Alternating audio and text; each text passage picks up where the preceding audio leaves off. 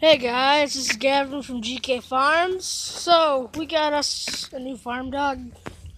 Her name is Roxy. Come here, Roxy. Roxy. She's a curious little puppy. She's a she's a red heeler Australian Shepherd mix. She's a cool little dog. I'll try to get her. Okay. Um, hi. So we named her Roxy. Uh, she's really cute. Her tail's black with uh, white. But yeah, she's friendly and uh, she's a work. She came from uh, two working dog parents, two working farm dogs.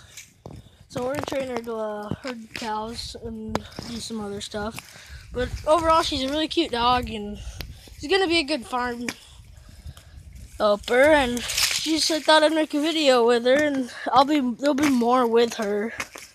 Uh, just thought I'd show you guys Roxy, so just keep keep watching. She'll probably appear in my videos.